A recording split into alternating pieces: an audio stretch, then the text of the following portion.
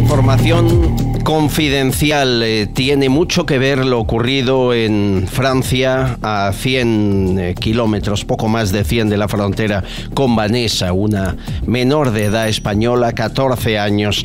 Fíjense, nos quejamos aquí de los reincidentes que están en la calle, bueno, en París también y cometen delitos y matan después de abusar sexualmente.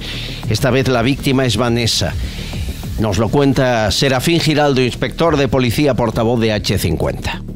Por Albert, nuevamente este fin de semana asistimos a un atroz asesinato y a una atroz violación. Se trata de una niña de 14 años, Vanessa, española, que falleció a manos de un desalmado de 31 años francés que al parecer tenía problemas con el alcohol y antecedentes por agresiones sexuales.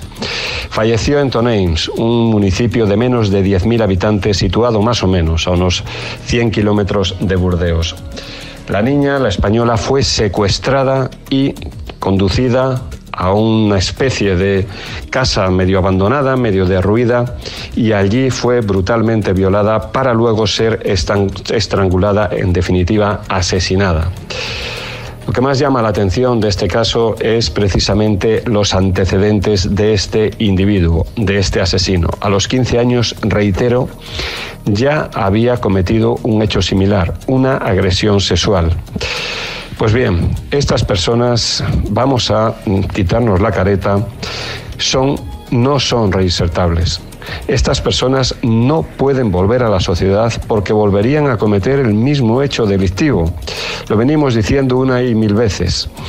Este tipo de actividad delincuencial, una vez que repiten, se convierten en depredadores de carácter sexual que buscan nuevamente a su víctima una vez que están en la calle. Por tanto, para estos casos, la prisión permanente revisable se ajusta a las necesidades de una sociedad que tiene que protegerse de este tipo de individuos.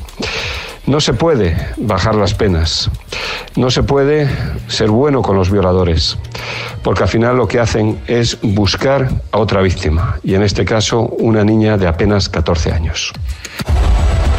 Hay personas no reinsertables en la sociedad, eso es evidente. La cadena perpetua revisable en Francia está funcionando, igual que en España desde hace pocos meses.